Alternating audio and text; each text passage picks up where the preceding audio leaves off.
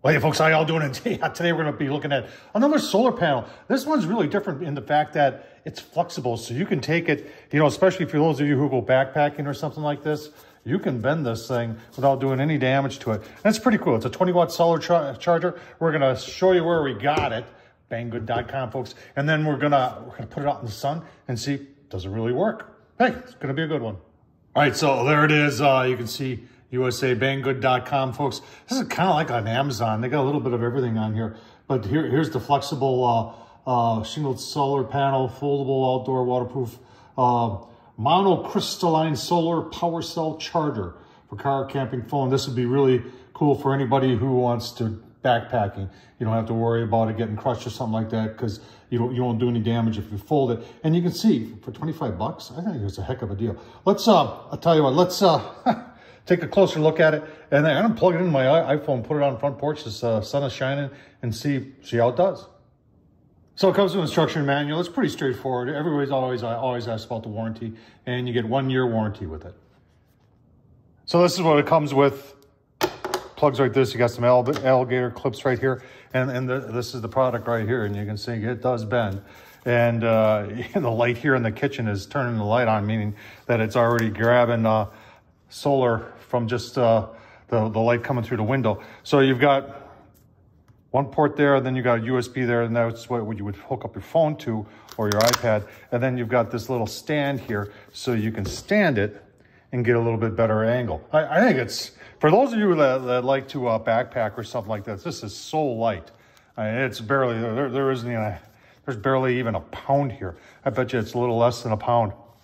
And you don't need all this stuff. All you gotta do is take your USB uh, charger and plug it in. And uh, you know, if you're taking a break for an hour, plug it in, get a little extra charge on your phone. I think it's pretty cool. Let's let's put it out in the sun and uh, let's see how it charges up a phone.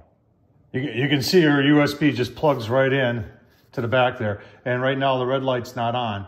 And as I tilt it toward the light, and like I said, we're in the house. You can see the light comes on. That tells you that there's it's generating charge. And I, like I said, we're in the house. If I tip it away, then then it goes off. Uh, let's, you know, I got some sun right here in the kitchen. I'll plug it in there. Right, got some, I don't even have to take it outside. I got to just put it in the kitchen here.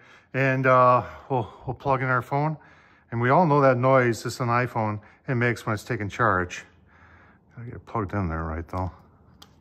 Oh, come on, Tom. There you go. Oh, did you hear that?